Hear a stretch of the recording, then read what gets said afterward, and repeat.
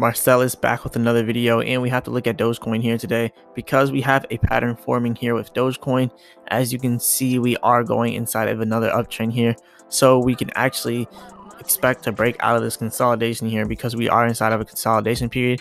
As you can see, it is trading very slightly right now. Like there's a very small amount of orders going on right now. So not much selling, not much buying right now. It's just going really sideways right now. So that's good news. That shows that Dogecoin is really stabilizing, and that's really good news with Dogecoin.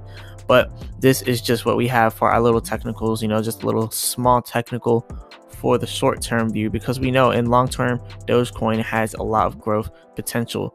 So yes, long term we will grow in Dogecoin, but short term right here, what we're looking at, we're about to have another jump up here. I don't know how high this is going to jump.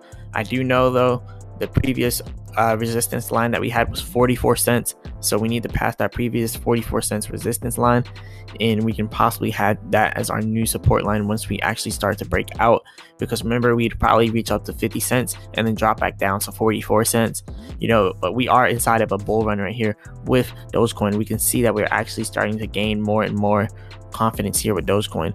But as there is confidence, there's also FUD. And remember, FUD is fear, uncertainty, and doubt. And that is one of the main things that are going on in Dogecoin right now. So if we go over here, we see a bunch of articles just talking bad about Dogecoin. This article says three reasons Dogecoin could head to the moon someday, but they emphasize someday because this is the Motley Fool. They always talk bad about Dogecoin. They say how Dogecoin got here, where does Dogecoin go from here? It is retaining value despite the crypto roller coaster. That is true. It has some everyday advantages over Bitcoin, which is true, and it's gradually winning wider acceptance, which is also true. Choosing a diamond hands or paper hands strategy they're pretty much saying that they're choosing a paper hand strategy. They're saying fools investing in cryptocurrencies should not put any money into Dogecoin that they are not prepared to lose, which is definitely right. You should never invest more money than what you're prepared to lose. But remember, you always want to not, you know, be too widely spread out. You don't want to have like $10 here, $10 there. You know, if you're going to put in on something, make sure you put in on something that's worth it, you know, like putting money into Dogecoin, like a hundred dollars into Dogecoin, may not do anything for Dogecoin because if it goes up to a dollar, and then you'll just have a hundred dollars, or I mean, you'll have you know something around there. If you have a hundred Dogecoin, it'll be a hundred dollars. So Dogecoin is definitely something that you can definitely play around with. And if you're going to invest in Dogecoin, Diamond Hands is the strategy, not paper hands. Because when you go paper hands and you sell out, you usually end up losing on the investment. Because long term, if you think about where Dogecoin will be in five years, will probably be around a hundred dollars. I'm not gonna lie, like ten dollars to like that that is just crazy just thinking right there. Maybe not a hundred but let's just say ten dollars. All right so if dogecoin goes from here to ten dollars in five years that's a really good return on investment. So short-term investing doesn't win like long-term investing. So long-term investing is really the better thing to do. So it's better to have diamond hands and just hold. That's what i've been doing because if i continue to hold dogecoin let's say i have 7000 that's around how much i have right now. So let's say i have 7000 dogecoins and then I take and I multiply that by our target price, which is $10 inside of five years, that would end up being $70,000. So turning 7,000 to 70,000 in five years is a good investment and a good return on investment. And that's kind of how Dogecoin is predicted to go right now. But remember, I'm not a financial advisor. This is not financial advice. This is just what I predict that Dogecoin will do. So $10 is my prediction personally in five years for Dogecoin. So 2025, we can definitely see a $10 Dogecoin. And especially with all this inflation, there's going to be more US dollars circulating inside of the market, which means we'll have more market cap that we'll be able to gain, but everything will be more expensive. So then we'll also have those problems there. So lots of different things are going on here. That's why it's possible for Dogecoin to reach 70,000. And it's also good to not listen to all the FUD, which is the fear, uncertainty, and the doubt, because uh, everywhere we look, we see this fear. Like no one knows where crypto is going in general, and also no one knows where Dogecoin is going. So people are saying forget Dogecoin, three Cathie Wood investments that could deliver superior returns. I mean, there's so many different investments, but none of them can top what Dogecoin has already done this year. We have done so much growth this year alone in Dogecoin. Like, look at this 14,000%. We were up way more than that. But I mean, in a year, 14,000%. None of those investments are going to top that. That is one of the largest growth that you can ever have inside of any kind of stock anywhere. But I mean, Teladoc is a stock that I've heard of. So that may be a good stock, but not better than Dogecoin. And Square is also a good stock, but not better than Dogecoin. So is Roku. Roku is a good stock. PayPal is too, but they're not better than Dogecoin. None of them are better than Dogecoin when it comes to the amount of growth that there is, you know, the potential for growth. So maybe usability, maybe they have more usability than Dogecoin, but they don't have more growth potential than Dogecoin. That is what I'm saying here. So that's just my statement. Remember, I'm not a financial advisor. This is not financial advice. But people are just saying so much about Dogecoin, so I had to speak out about it because some people are feeling down about it. They don't know if their money is ever going to go back up. And I have money in Dogecoin too, and I'm really confident that Dogecoin is going to go back up because I've been following the charts every single day since it's dropped. And what I've been seeing is the same kind of patterns that have been coming out. You know, look at this. We start to go out and we dip a little bit. We start to go up and we dip a little bit.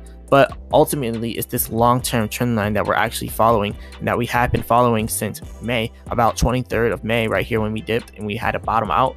We just been following this long term trend line. So, yes, it's going to take us a little bit longer to get back up to where we were, but we're going to do it slowly and steadily like we should have in the first place instead of having these huge pumps by Elon Musk. Because remember, when Elon Musk did all these pumps, that's artificial growth right there. So we were going to dip regardless. But what we had to do was come back down to the long term trend line.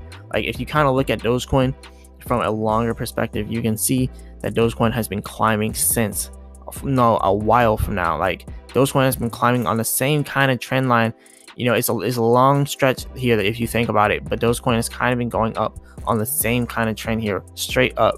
You know, it looks like a rocket too, the way Dogecoin's been going up. When you just look at it from the uh, four hour chart here, this is a lot of growth in such a short period of time. So obviously we're going to drop, but now we are seeing that we are starting to get more gains. So in the last seven days, 22%.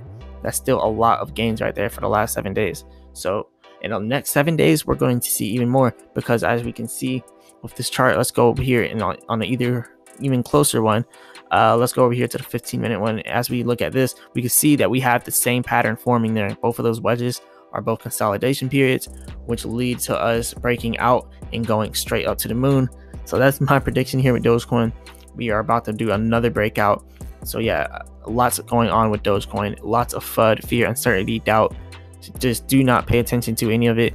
And another thing, the whole anonymous thing with Elon Musk is another thing that creates more FUD around Dogecoin. So the whole thing with Elon Musk and anonymous, this is this is really crazy. Um, if you haven't seen it, you can go online and find it anywhere. Just type in anonymous Elon Musk, and then this whole video will pop up. I'm not gonna play it because I don't want to get copyrighted. I know someone probably already did a whole copyright thing on it. But anyways, Anonymous claims that even though Elon Musk has positioned himself as concerned about the environment with Tesla's pivot away from Bitcoin, he doesn't practice what he preaches within the company itself, hurling many allegations against him and Tesla's practices at large. Anonymous goes on to take even more shots at Elon Musk personally, saying he suffers from a superiority slash savior complex, noting he once dubbed himself the Emperor of Mars and that he's actually hurting working class people and their prospects by his constant crypto trolling. There's a lot to unpack here. That's what they're saying. And the whole thing with the, you know, you know what, Rocket, I'm not going to even say that because I'm not trying to get demonetized here. But yeah, the whole Rocket situation, you know, with him tweeting a few days, a lot of people are hating on that too. And I'm not one of those people that are hating on Elon Musk. I think he should have, you know, freedom to say whatever he wants about whatever he wants. And people need to just stop, you know, paying so much attention to the media. But you know, the media kind of runs a lot of people's lives. So if Elon Musk says buy something, people will buy it. If Elon Musk says jumping off a cliff is good, people will probably do it, and they will do whatever because he's Elon Musk and he's rich. And that's just kind of how things go. People need to have a brain for themselves. You know, I heard about Dogecoin before Elon Musk, and I invested into it. And then seeing Elon Musk talk, doing all this about Dogecoin, I'm still gonna hold it. I'm not gonna sell it because Elon Musk is in it or out of it. I'm going to be in Dogecoin no matter what. And that's really what the Doge Army is about. The Doge Army isn't only focused on Elon Musk. You know, it's do only good every day. So even if Elon Musk gets attacked personally, I don't feel like Dogecoin will get attacked. Because remember, Dogecoin's whole motto is do only good every day. And if you think about Anonymous, they're really for the people. They try to expose governments and, you know, uplift the people. And right now they're trying to expose Elon Musk and uplift the people. But I don't know if Elon Musk has any, you know, wrongdoing with this whole crypto thing. I'm not going to judge on that. I don't really care about all that. because I'm more focused on the investments and the long term gains that we can possibly gain from these investments. So that is where I'm looking at this with Dogecoin. But remember, I'm not a financial advisor.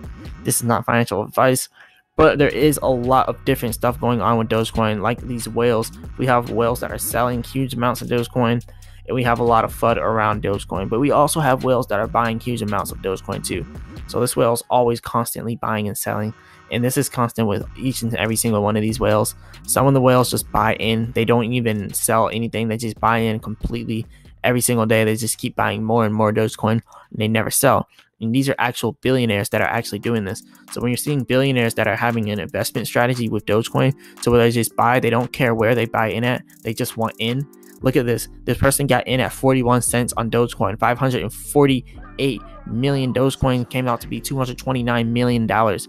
So millionaires they don't just take 229 million dollars throw it into dogecoin that's a billionaire right there a billionaire took 229 million dollars on the third of this month and they threw it into dogecoin at 41 cents despite dogecoin dipping back down to 37 cents this millionaire has not sold anything or this billionaire they have not sold anything despite dogecoin going down to 37 cents that's why i'm really confident right here that this is about to be another uptrend we're about to have another bull run inside of crypto and this one's about to be the last one before the crypto winter. So you want to be in before crypto winter. That's why I'm saying June and July is where you really want to be in on crypto. We already had our lows, so we're not going to get back down there. So a lot of people missed the opportunity to buy in all the way down here, which was around 24 cents. So even though you couldn't get in all the way down here, you can still get in right now. Because remember, when this goes from 40 cents all the way up to a dollar, that is going to be a huge jump, uh, huge jump there. And then we do have a drop. It'll probably go down about 70 cents. You know, our previous support when we get all the way up to a dollar, it'll go to 70 cents, and then we'll have another raise back up to a dollar. That's how it's been happening here with Dogecoin. Dips are completely normal, and I'm actually glad we had this dip because you know it gave everyone an opportunity to buy more Dogecoins. So I definitely hope everyone got more. But remember, I'm not a financial advisor. This is not financial advice. And never invest more than what you're not willing to lose. So do not invest more than what you're willing to lose here. So you do not want to lose any money here with Dogecoin or anything. So only invest with money that you're willing to play with.